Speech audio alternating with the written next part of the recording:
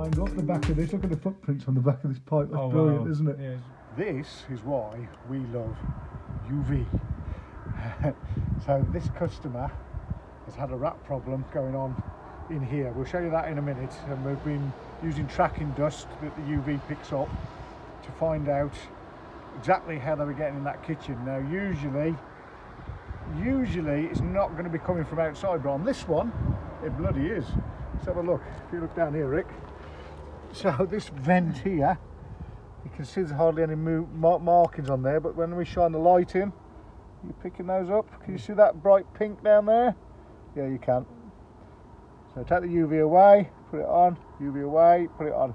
And that's the same dust as what we've used down in the uh, in the kitchen. And Ricky will take you down and we'll have a look at that now. Be a case of, uh, so what we'll do, we'll block that up, uh, see what happens next week, see if there's any new footprints in the UV. We love UV. Yeah, then so we're inside the same property we were just looking at uh, just now. And as you can see, you can't see anything down here at the moment. But as soon as we turn on the UV, you can see where we put the tracking piles of tracking dust. You can see the occasional little footprint. You see his tail swipe right there. That's a tail mark probably going down there. Um, but most of the so shall we have a look at how we know that it's that pipe that we've just shown upstairs? So if we go underneath here, Rick, and you can show what's going on. So there's the torch, and you can see in that corner there, that white thing in the far corner. That's uh, that's the other end of that Let me put it on with the normal light so you can actually see. Um, So there it is, yeah. So that's the one end of it. Uh, and you can see the other end where the rats were getting in and out of from outside.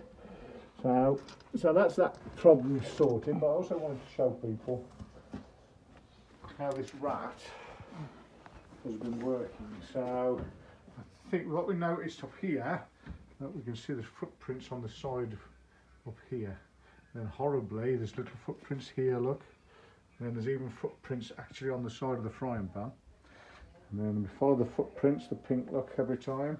No more three, three thumbs, three fingers. And then just here, look. Now we were presuming that it's gone that direction. but actually when we've looked, you can see down there, you can see the footprints and they're travelling this direction towards me and then they go up onto that piece of piece of wire down the bottom. Then they've climbed from that wire onto the gas inlet pipe here. And then they've climbed up the back of this. Look at the footprints on the back of this pipe. That's Oh, brilliant, wow. isn't it? Yeah, up like a monkey. So he's climbed up that like a monkey, put his hand on there, lift his body up, and then he's gone that way. So And then he's gone along there. gone along here and had a moach. So drop down there. So, so this really does prove uh, that rats can climb. In all the textbooks and stuff, they'll tell you that rats can't climb very well and things, but as you can see, the rats of the West Midlands, they certainly can climb, because that one got that pipe, no problem whatsoever. Uh, another job that's nearly solved by the pest interceptor. So, thank you very much for watching. Don't forget, to like and subscribe.